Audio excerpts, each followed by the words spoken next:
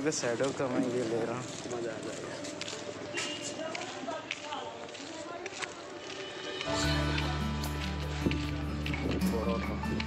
Try one day in लोग को कुछ लेसन सिखाते हैं shadow view What could be the good rider about the life? इंसान का प्रॉब्लम ये साइडो जैसे पीछे पीछे आता है एनीवे कभी आगे कभी पीछे होता है कभी कभी आगे होता है कभी कभी मिडिल में चलता है जब बारह बजते हैं सन जब हमारे वो सिर के ऊपर रहता है तो हम लोग से मौला हमारे साथ कभी कभी पीछे हो गए पीछे हो गए कभी कभी आगे बढ़ जाते बढ़ेगा हमारे साथ ही रहते हैं So don't worry, accept the problem. That's the message we want to give you. through this uh, shadows. Shadow.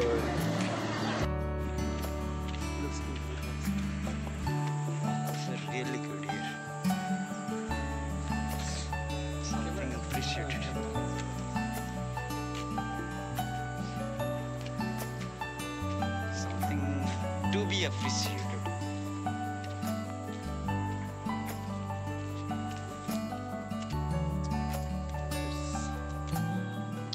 Welcome back. This is.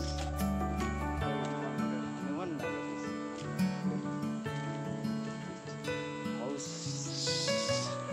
Just taking taking long route to reach. Relaxation for us. Uh, sometimes we don't go. This is- We should know the we should know the streets. No use uh, staying in Mysore if you don't know the streets. अरे Those इतना are बड़ा around you.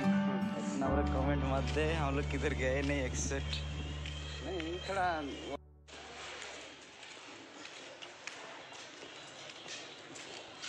He made this, you know.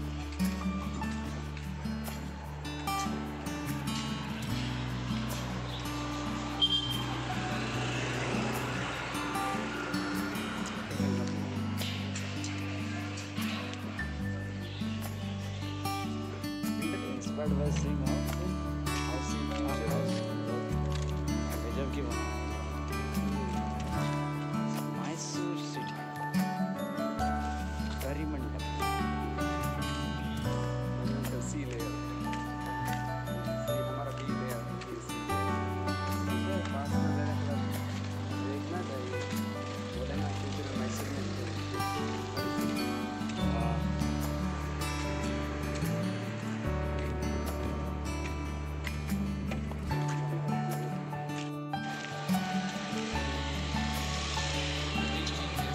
I like talking, I, like walking this Mustang. Because nahi uh, That's why why to come that side and listen those noise. Yeah, vehicles are going on and on, just making noise.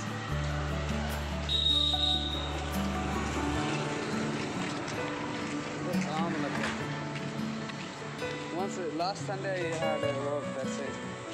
Was fully peace I guess. ये कभी कभी हम लोग को avoid करना चाहिए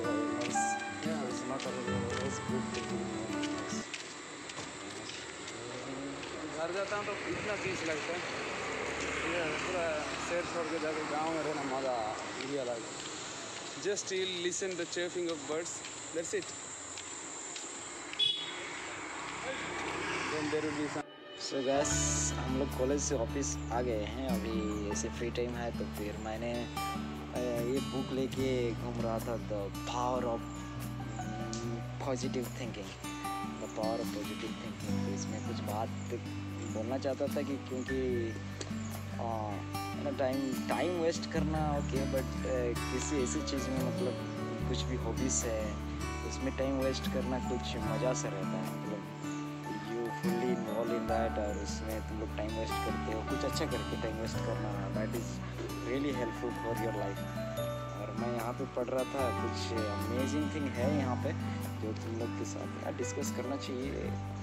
Like who is the responsible for your happiness कौन responsible है तुम लोग के happiness you are the one who is responsible for your happiness अरे सुबह उठो, दो चॉइस रहता है ना। एक तो हैप्पी रहने का, नहीं तो अनहैप्पी रहने का। चूज़ करो हैप्पी रहने का। सो इंसान बहुत कुछ करता है हैप्पीनेस पाने के लिए। To find for that happiness बहुत इंसान बहुत कुछ भी कर लेता है ना।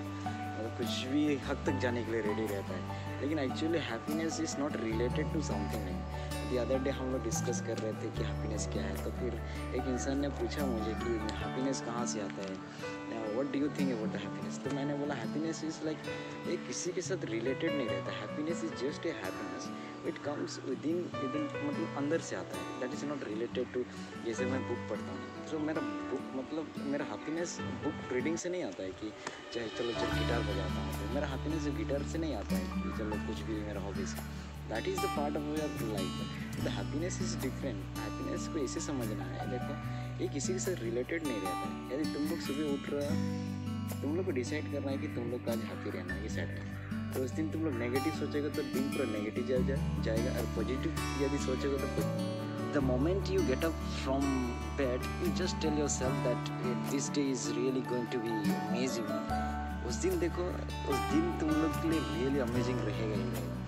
यदि if you think that the day is really going to be bad अरे बोरिंग लग रहा है ये कर रहा है, वो कर रहा है, सब कुछ करके इस तरह नेगेटिव इसे टाल दोगे ना आई गारंटी यू उस दिन का दिन सच्ची में बोरिंग रहेगा you not feel to do anything so you feed your mind with the positive early in the morning to survive whole day to face this world like all that negativity is there.